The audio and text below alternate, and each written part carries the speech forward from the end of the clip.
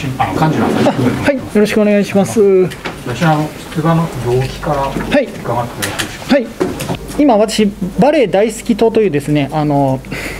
えー政治団体を作って、えー、と芸術活動をこう広めていきたいという思いをこの NHK の諸党諸派党構想という多分皆さんご存知だと思うんですけども諸派党構想の、えー中に、えー乗っける形で今立候補しております。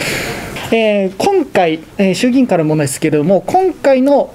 動機としては、えー芸術活動をもう少しこの日本の世界に、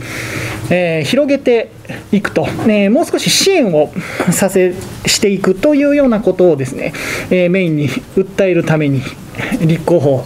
いたしました。なのでもちろん NHK 問題というところで活動はしていくんですけれども私のメインで主張するところとしては、えー芸術分野えーもしくは、えエンターテインメントとかですね、今回コロナの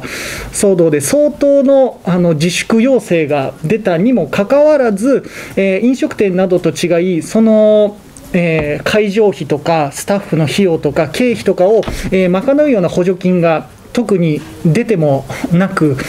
で文化庁から確かにあの予算組まれて補助金は出てはいたんですけれどもその自粛要請がなされている時に出てた補助金の内容があの新作を作ったら補助金を出すよというような内容の補助金だったので政府たちは何をしたいんだっていうところの不満も結構そのいろんなねこの演劇でもそうだし音楽でもそうだしいろんな業界から出るところを、えーもう少しこう芸術に温かいで皆さん Amazon ミュージックとかいろんな聞くと思いますけどもそういうところの映像とか、えー音楽とかのエンターテインメントというのも、えー元はといえば芸術活動絵とか、えーえークラシック音楽とかクラシックの踊りとかそういうのが発展した上で成り立っているものですのでそういうところから、えー支援をしていくと、えー皆さんがよりですね生活に潤いを、えー感じられる世界になっていくのではと、えー実際のところ世界を見ても、えー芸術がうまくいっている国っていうのはやっぱり国の支援がエンターテインメントそうですけれども特に韓国なんかもとてもあの世界に通用するようなあの BTS とかあの出していますけれどもやっぱりあの国の支援が非常に強いと。でこれから世界に誇っていく、えー何か、えー技術でも、えー芸術家でも出していくためにはやはりに、えー日本が国としてのサポートを、え芸術家に与えてその才能をしっかりと発掘し育てていくことが必要であるとそういうところを、えー訴えていきたいと思っております。芸術分野とかエンターテインメントの分野を全体をこ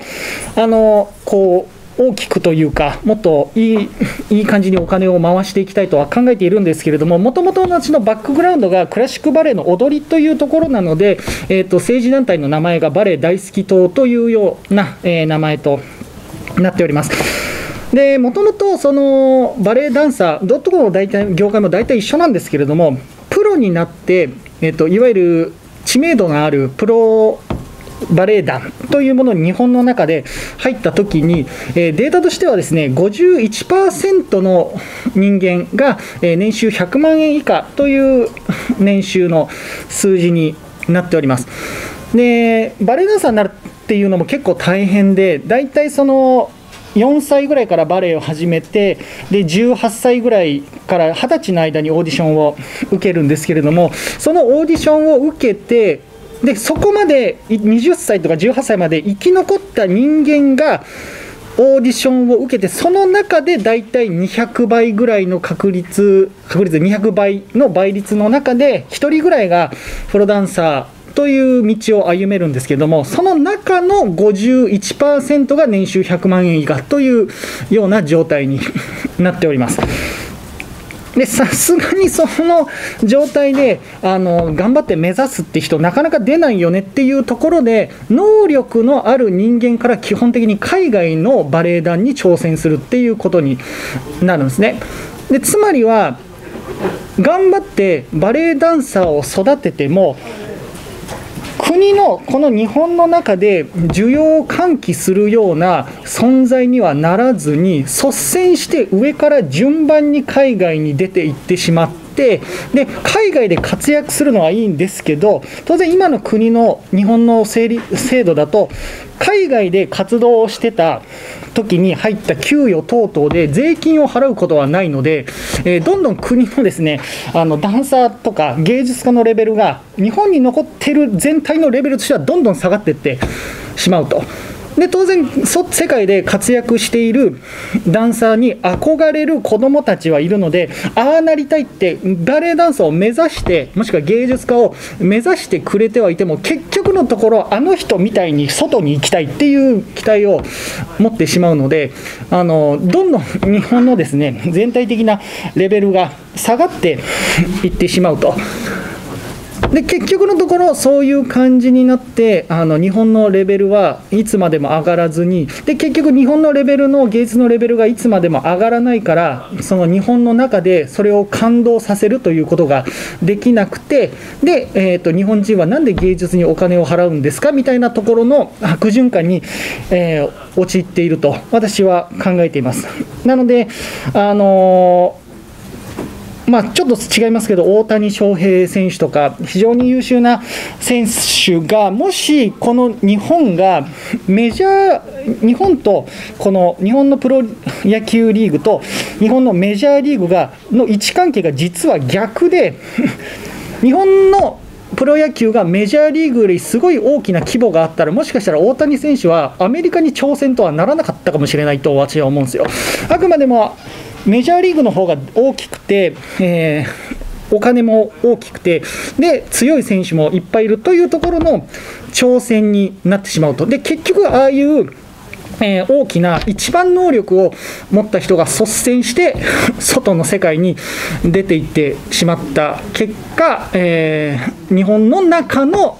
えー、プロ野球でもそうですけどあの芸術関係もそういうものがどんどんつまんなくなって いってしまうと。でそこを、えー、なんとかするためには、えー、日本でもいいかと思わせられるようなあの制度を作ってでもっと多くの人間に、えー、お金を与えることでですね才能を、えー、支援していくような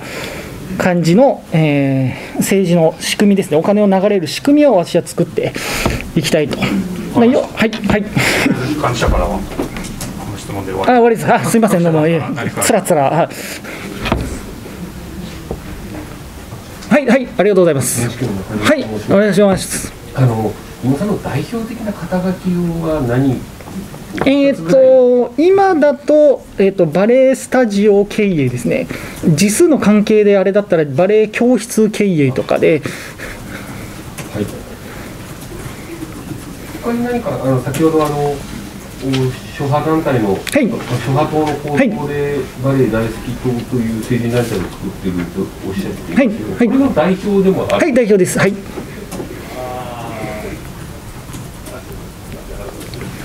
あとあの NHK と裁判している弁護士法72条違反での、はい、政党では何かお役職とかはあるんでしょうか？いや特にはえ、まあ、党員というだけではい。わかりました。はい、ありがとうございます。はい、ありがとうございます。ご出身地は大阪。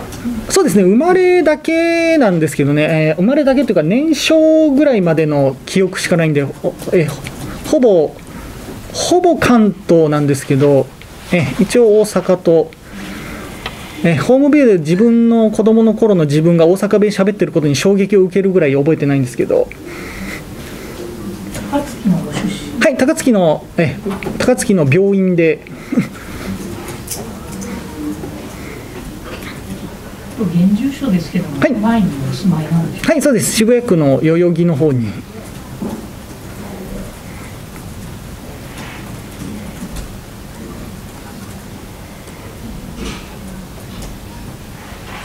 東京そうです、はい、東京選挙区から出ると。はい東京選挙区から出ます。で国党あ NHK 党の、はい、えーと、公認。はい公認ではいはい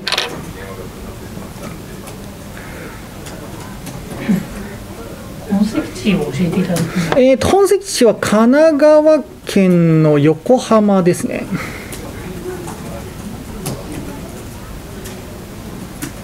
細かいんですけど何区かっていうえー、ちょっと待ってくださいね、何区？えーと、確か、えーと、待ってくださいね。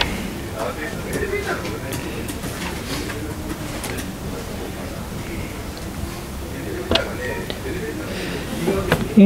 ーと、江南区ですね。はい。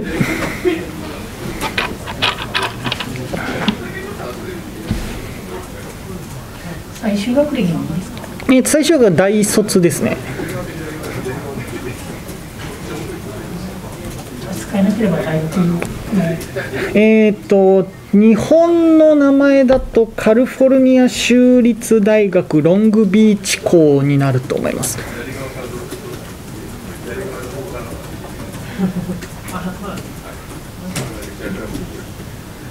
卒業卒業です。はい。必要であれば卒業証書もありますので。はい。はい。えー、と学部はキネシオロジーっていうんですけど日本語の訳だと,、えー、と人間運動学とかあんまり馴染みがない人間の、えー、と物理的にどういう動きをするかっていうのを研究するような ものなんですけどだから前に出た時にはあんまりにも通じなかったんで機能解剖学って言ってたんですけど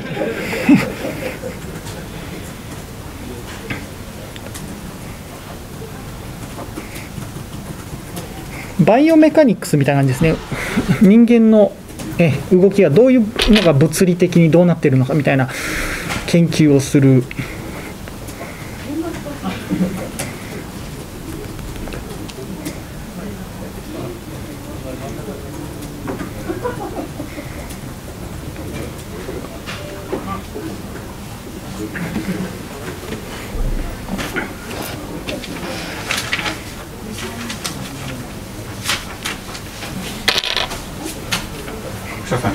以上で。ありがとうございました。